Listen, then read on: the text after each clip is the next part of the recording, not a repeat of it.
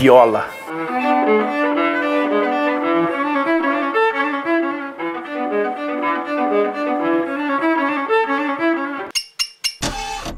Eu comecei com seis anos de idade a tocar violino, né?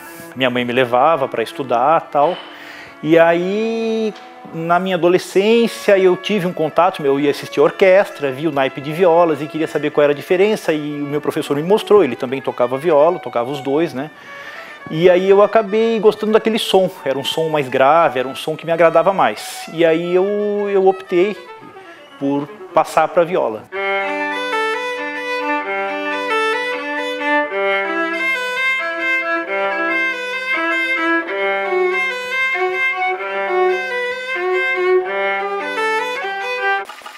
A viola é um, um instrumento é, que, que, surgiu do, da viola da Braccio, assim como o violino também é, descendem da viola da Braccio, que era tocada com, chamava da Braccio porque se, se usava o braço para apoiar. Esse instrumento aqui se aperfeiçoa mais ou menos no século XVII. Existia também a viola da gamba, que se tocava nas pernas, né, que é antecessora ao violoncelo. A viola é um instrumento um pouco maior que o violino, alguns centímetros maior do que o violino, a caixa dela tem, a caixa de ressonância tem aproximadamente 40, de 39 até 42, 43 centímetros, depende do instrumento, existem violas de vários tamanhos, né? Então faz dela, acho que uns 4, 3 ou 4 centímetros maior do que a caixa de ressonância do violino. Portanto, ela é mais grave.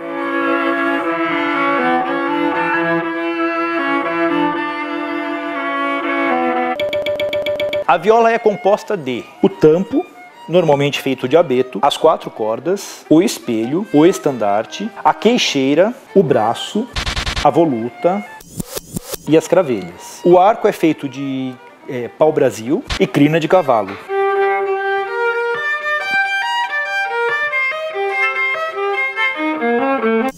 A viola tem as cordas Lá, Ré, Sol e Dó, do agudo para o grave. As três primeiras cordas, a corda Lá, a corda Ré e a corda Sol são análogas às do violino, sendo que o violino tem a corda Mi também, que a viola não tem.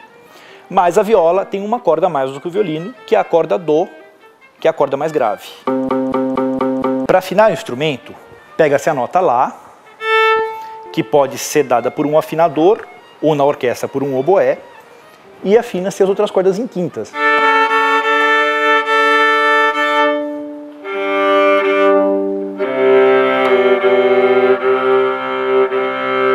Para se tocar viola, não existem trastes. Nós afinamos, é, assim como o violino, o violoncelo e o contrabaixo, decorando a forma da mão. A forma da mão é a distância entre um dedo e o outro que vai dar as notas.